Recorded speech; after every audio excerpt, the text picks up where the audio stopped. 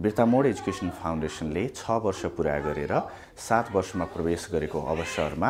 म बिर्तामोड एजुकेसन फाउन्डेसनलाई बधाई तथा शुभकामना ज्ञापन गर्न चाहन्छु। शैक्षिक परामर्श क्षेत्रमा राज्य र बिर्तामोड एजुकेसन फाउन्डेसनले पुर्याएको योगदानलाई म कदर गर्न चाहन्छु। उहाँहरूलाई धन्यवाद भन्न चाहन्छु र आगामी अनगिन्ती वर्षहरूमा उहाँहरूले यसै गरी विद्यार्थी र अभिभावकहरूलाई सही सूचना दिएर सही परामर्श दिएर आफ्नो व्यवसायलाई अगाडि बढाउनु हुनेछ भन्ने आशा राख्दै पुनः उहाँलाई यो छैटौँ वार्षिक उत्सवको अवसरमा शुभकामना